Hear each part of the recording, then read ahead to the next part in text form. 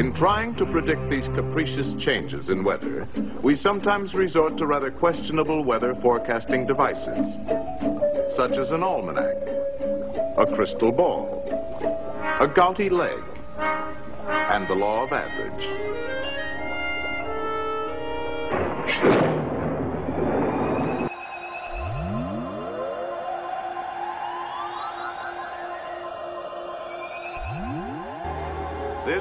The master control room. Electronic maps and view screens display up-to-the-minute pictures of the weather around the Earth. Every hour, reports are automatically received from all points at sea, on land, and in the air. 22,000 miles out in space, three robot satellites train their sensitive television eyes on all parts of the Earth. These pictures are monitored on viewing screens in the Weather Center.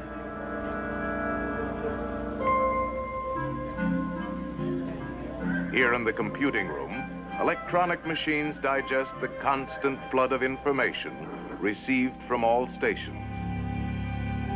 This is then translated into an ever-changing diagram of the Earth's weather. Forecasts for every sector of the globe are made months in advance. Prediction charts have indicated that a powerful hurricane will begin forming today in the Atlantic Ocean. The electronic weather map shows an intense storm system building up about a thousand miles due east of Miami, Florida. The controller calls for a close-up satellite view of the troubled area. Coordinates. Coco 526, Yankee 2.5. Okay, controller. Coco 526, Yankee 2.5.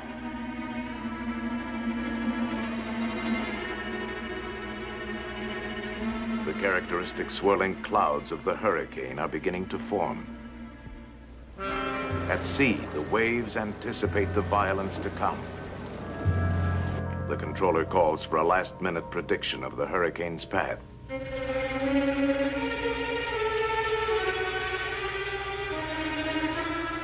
If control measures are not begun at once, the hurricane will smash across densely populated areas within 48 hours. 11 a.m. EST. A hurricane is forming 960 miles east of Miami, Florida. If control measures are ineffective, it will pass inland at Cape Hatteras in 48 hours. Control operations will begin within two hours, but safety precautions should be completed from Cape Fear, north no later than 6 p.m. tomorrow. At Weather Central, the control strategy is mapped out. A ridge of high pressure slants across the eastern United States between two low pressure storm systems. If these two storm centers are intensified, the high will build up along the coast, forming a barrier that will turn the hurricane out to sea. Stand by. Now pulling in satellite number one for visual check of low pressure systems L20 and L21.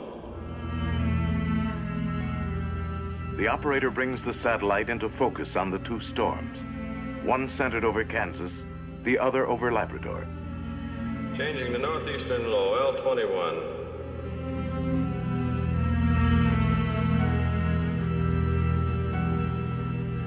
With the touch of a button, the battle begins. On the ground, chemical cloud seeders begin to work the two storm areas. Robot planes seed the clouds from above. The storm centers over Kansas and over Labrador intensify as seeding continues. Now changing over to Hurricane Center H8.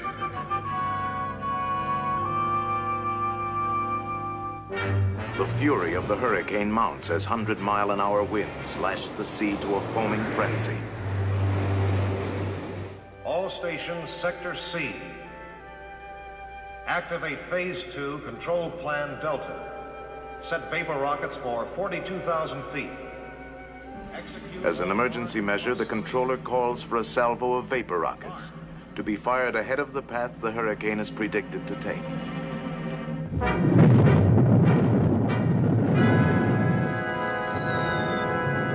These artificial clouds will block the sun from evaporating more water to feed the hurricane.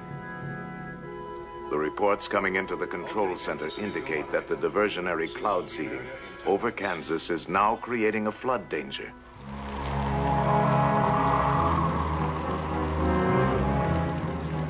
Specially equipped robot aircraft are dispatched immediately to release a high concentration of cloud seeding material into the fringes of the storm. Heavier seeding from the ground also helps to subdue the rain by spreading it over a wider area. The controller calls for another view of the hurricane, which has now moved closer to the coast.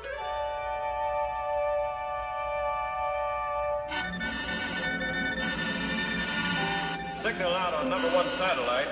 10 minute interruption for correction. Have you anything else in the area? Satellite station S1 is approaching area. We'll make contact. S1, S1, this is Weather Central. Request video signal at grid coordinates COCO. An emergency situation has developed. In an orbiting space station a thousand miles above the hurricane, a crewman sends a temporary picture back to Weather Central.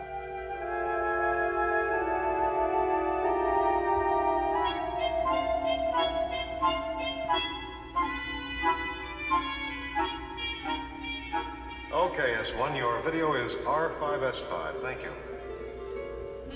The hurricane has stopped moving toward the coast, but is still intensifying. It must be made to move northward and out to sea. This is a crisis. Aberdeen Station. Activate multiple seeding rockets on course 117. The controller decides to fire cloud seeding rockets just ahead of the hurricane, hoping to start it moving.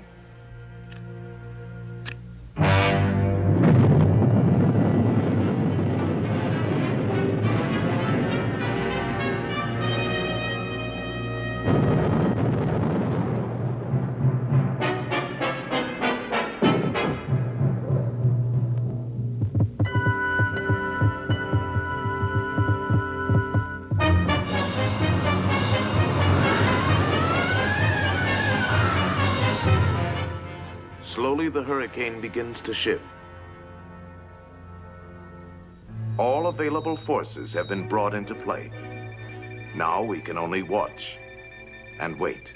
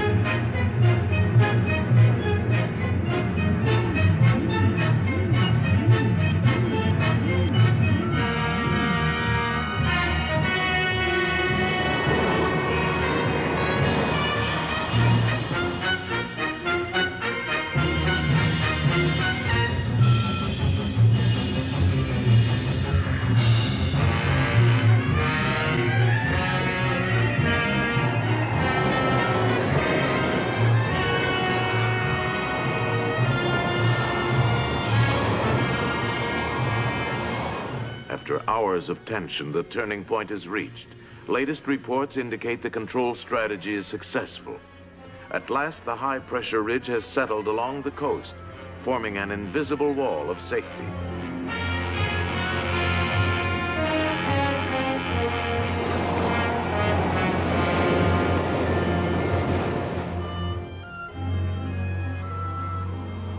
The storm is over.